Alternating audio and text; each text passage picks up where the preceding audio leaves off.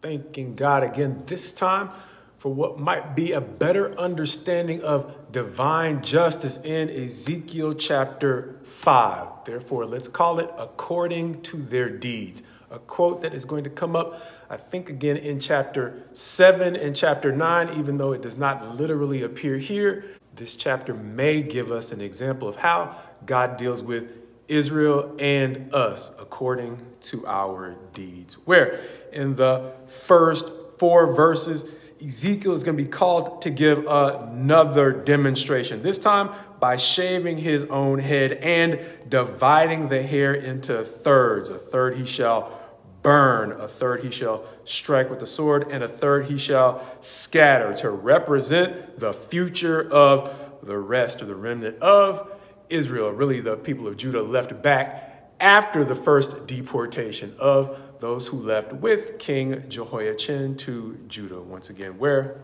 Ezekiel is prophesying now.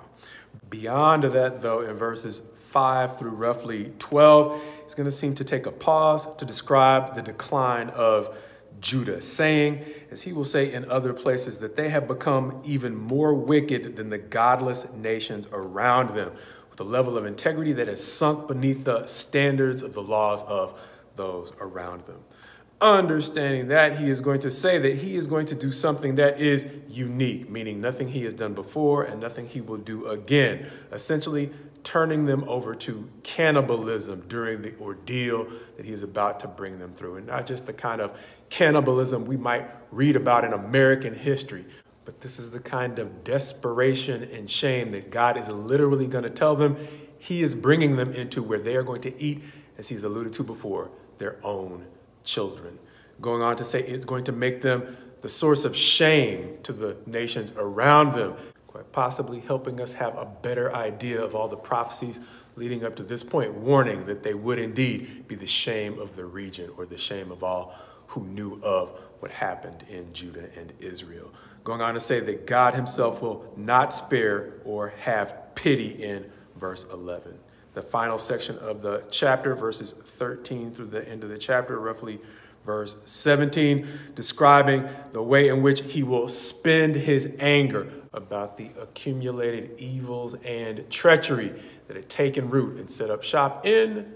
Judah. However, the thing that might have most caught my attention, obviously, was the call to not only cannibalism, but driving them to the point where they would eat their own kids something that shocked me and really kind of left me scratching my head until I realized what's God punishing? He's punishing people who had given themselves over to child sacrifice, reminding me even more that God was also holding them accountable for rampant injustices. And this might not be the point that God was making here, but throughout this period of history and the word in general, God is emphasizing the fact that we don't have the right to treat people according to our preferences as much as we have an obligation, like he is about to show us in chapters 7 and 9, to treat one another according to our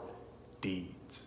And understanding that child sacrifice, if it was back then anything like its lingering vestiges today, it's a prosperity ritual in which someone sacrifices something they prefer less to preserve the prosperity or the hope of prospering, something they prefer more, regardless of the relative integrity of the thing sacrificed versus the thing preferred. And from that perspective, this chapter may be helping us to understand that not only in Israel's history, but as we understand God to be a God of a single standard of justice for everyone, Israel simply being an example of his love and his justice for all people, he may be helping us understand how unjustly sacrificing others may seem to put us on the path to accomplishment, prosperity, or success, when it's actually putting us on the path to lose everything.